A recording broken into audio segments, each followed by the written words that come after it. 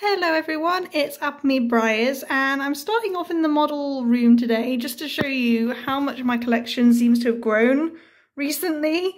And the reason I'm making this video is because I've actually had to change the way I basically manage my collection. Now I have this many horses in my show string. So previously I was just having kind of written records for the models. So I was just writing down their photo show placings but there's just been too many of them to keep track of really. and I know that says a lot about me, but essentially I've just been finding it hard to keep up with photo shows. I also have a mini show string as well as the traditional, so as you can see there's quite a few stablemates here. So my show string is over 100 horses easily. So I've had to come up with a way of managing the collection that's not just writing down written records, which is what I was doing before, and I was getting quite behind with sort of photo show results and placings and things. So I've had a complete overhaul and I thought today I'd show you how I'm managing this lot and how I'm keeping top of my photo show records because I think this is a really interesting area. Every collector will do this differently, but I think this method is really nice. So if you're not sure about how to manage your collection, maybe you want to do something similar. Anyway, we'll leave the hobby room now that I've been panning around and I will go and show you how I'm managing this big collection.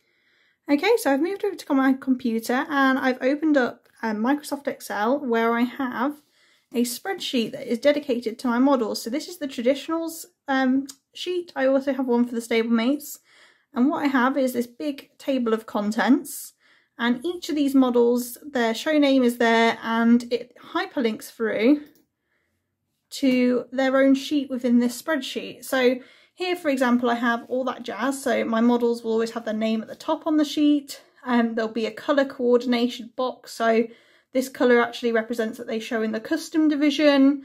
Some of my models, they'll have a different colour for if they're in the pony division, for OF or draft, etc. So I colour code it a little bit. I usually put in some information about the model. So if this is an OF model, it's usually what model it was, how many were made, but this is a custom. Breed and then sex. And then I have a column for show name, so the show's names popped there. We have a column for their placing and then the class that they were in. The number of horses in class is something that I find quite interesting to record. I think it just gives you an idea of how big the class was. So for example, if you placed first out of 52, that's a really big class. Um, if you placed four out of five horses, not the best placing just gives you a little bit of an indicator. Um, not all shows will report how many horses were in the class, but most do, so I think it's quite nice to have. Then we have the date of the show. Um, this is for if you show in the International Photo Show League, whether it was a qualifier or not. And then the platform, so sort of Facebook, Instagram, or MHPS in my case, the ones that I tend to show on. And then the green is actually a code I use internally myself. It just means the horse came first or second um, in an International Photo Show League qualifier class. It's something that I just find when I came to do this year's show, I struggled to keep track of all the horses that qualify, so I'm trying this to see if that helps. And I also have on here a little button that says return to context. So this hyperlinks back to the contents so I can easily move in and out of different horses. So you can see this is another model, this is an OF model. Yellow is for the draft horses. Um, the OFs, he's got what model he is, so Fox Valley Oliver, the years he was produced, that he was a regular run. Um, it's just a nice way, I think, to keep all your show information in one place. As I say, I was struggling with writing up show results. It was taking me hours to flick through a folder, find the horse, whereas this is really quick to put in your results. You literally would just, as you got the photo show results, I would basically go to this contents, click on the horses who's placed and enter their results onto the, uh, the worksheet. And something also you can do on this spreadsheet, which I find is really, really helpful, is use the find tool. Now, what often happens is when I'm photo showing, I will have the results and then I might not get the ribbons for a few weeks, particularly if it's a show where I'm an international participant.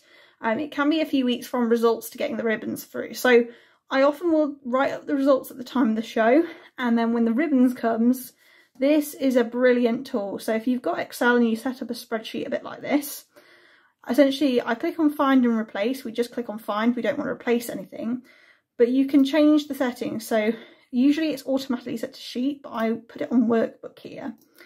And what you can do is type in the name of the show. So for example, you know how I had that category that said show name? A really quick way to find out which model's placed in that show is if I typed in the show name. So for example, I know Spooky October is one that I have been in. I can click on find all and it will bring up all of the models that placed in that show. So this is really helpful because it means I can literally then just slot the ribbons in. And if I need to know which placing they had, I can just click on that and it will take me through.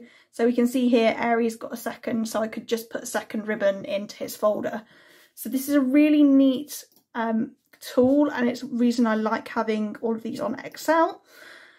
It's super easy to set up. It did take me a long time because I have quite a few horses. So in my traditional show string, I can't talk today, I have 92 horses technically. So it took me a very long time, but once I'd got the basic format, I could just copy sheets and just change the names on them. And then I went back and entered some previous show data. So it did take me a few hours to set up these um, show records and I because of that I would recommend if you do make a document like this having it backed up so mine's backed up onto a memory stick because if this computer were to die I, I lost this database I would be very sad about it as it's now where I'm recording all my results. But I hope that was interesting to have a look at so now I'm going to go off the computer and show you what I do with the ribbons after I've been in a photo show. Okay, so moving away from the computer, here we have my traditional show records. This is my traditional models. I do have a exactly same layout folder for my minis, but I thought since they're the same layout, I'd just show you one. I like to keep my hobby stickers on here. We've got the new Premier Club sticker on here. We're very excited for that horse to come out soon. Um, and essentially what I've got is a plastic wallet for each model and an A4 piece of paper. And on that A4 piece of paper, we've got their name, a bit about the model. So for example, this is a custom and who it's by. Um, we've got a bit about the breed and then the sex of the model. And I just slot the ribbons into each of these poly pockets. So that means that they stay all nice together for the model it means that if I were to sell the model, I could literally just take out this plastic wallet and send it to the new owner, as I think it's quite nice to be able to keep the ribbons with the model and the show record with the model. I could print that out from my Excel spreadsheet if a new owner wanted it. And it just also means it's quite nice. I can flick through this folder and I can see which models are doing well, which ones aren't really placing. This guy's new, so we'll let him off. Um, but we can see kind of visually how the models are doing as well. So it's a nice way to store the ribbons. Um, I do have a few rosettes in here which make it a little bit bulky. I don't particularly like the rosettes in here, but I just don't know where else to keep them at the minute. And it's a really nice way to keep everything together, I think. Um, I like that it's quick, so I can just literally slot ribbons into it. I'm not having to write things down anymore. Whereas before I had a folder like this, but I was like literally writing in the results by hand and it was just taking too long to do this many models. So I kind of like the hybrid um, computer and hard copy.